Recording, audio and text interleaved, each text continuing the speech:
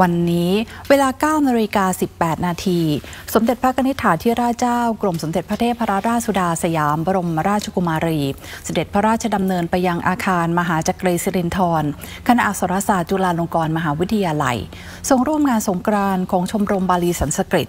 ในโอกาสนี้ทรงจุดธูปเทียนบูชาพระรัตนตรยัย ทรงศีล ทรงทอดผ้าบางสุกุล แล้วทรงร่วมพิธีทำบุญถวายสังฆทาน เพื่ออุทิศกุศลแก่ปูชนียาจารย์ ของชมรมบาลีสันสกฤตผู้ล่วงลับ จากนั้นทรงส่งน้ำพระพุทธรูป และพระราชทานน้ำสงกรานต์ตลอดจนของที่ระลึกแก่พระอาจารย์อาวุโส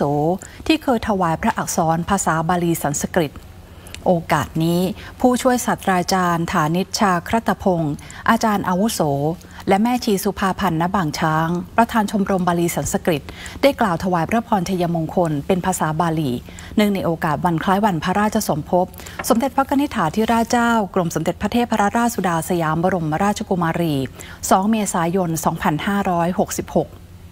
จากนั้นทรงฟังผู้ช่วยศาสตราจารย์นัชพลสิริสวัสดิ์กล่าวบทความทางวิชาการ เรื่องมหาปราติหาระ ยสูตร ในคำพีต้นฉบับจากกรีนกิจฉบับชำระเชิงวิพากษ์และความสัมพันธ์ทางด้านสารัฐะกับวรรณคดีพุทธศาสนาต่างสำนวน และพระราชทานเรื่องเล่าตามพระราชทยาศัย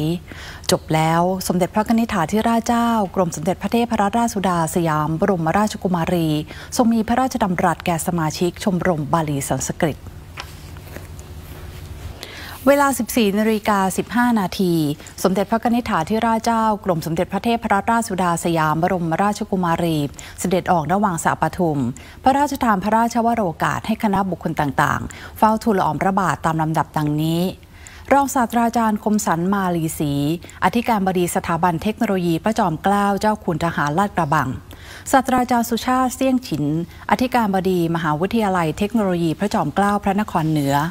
รองศาสตราจารย์ชาวลิต ลิมมณีวิจิตรรักษาการแทน รองอธิการบดีฝ่ายพัฒนานักศึกษา มหาวิทยาลัยเทคโนโลยีพระจอมเกล้าธนบุรี พร้อมด้วยคณะผู้บริหาร เจ้าหน้าที่และนักศึกษา สถาบันเทคโนโลยีพระจอมเกล้าเจ้าคุณทหารลาดกระบัง มหาวิทยาลัยเทคโนโลยีพระจอมเกล้าพระนครเหนือ และมหาวิทยาลัยเทคโนโลยีพระจอมเกล้าธนบุรี เฝ้าทูลละอองพระบาททูลเกล้าทูลกระหม่อมถวายเงิน ที่ได้รับสิทธิประโยชน์จากการจัดงานพระราชพิธี พระราชทานปริญญาบัตรประจำปีการศึกษา 2563 และ 2564 โดยเสด็จพระราชกุศลตามพระราชทยาศัย ศาสตราจารย์นายแพทย์อภิชาติอัศวมงคลกุล คณะบดีคณะแพทยศาสตร์ศิริราชพยาบาล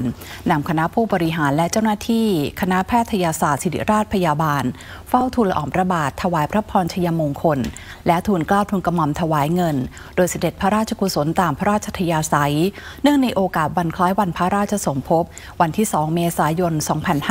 2566นายประพิษจันมา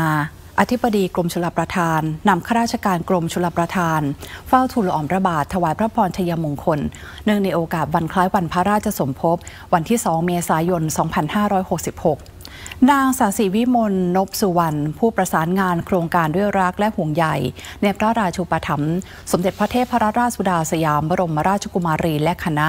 เฝ้าทูลละอองพระบาท ถวายพระพรชยมงคล และทูลเกล้าทูลกระหม่อมถวายเงิน โดยเสด็จพระราชกุศลตามพระราชทยาศัย เนื่องในโอกาสวันคล้ายวันพระราชสมภพวันที่ 2 เมษายน 2566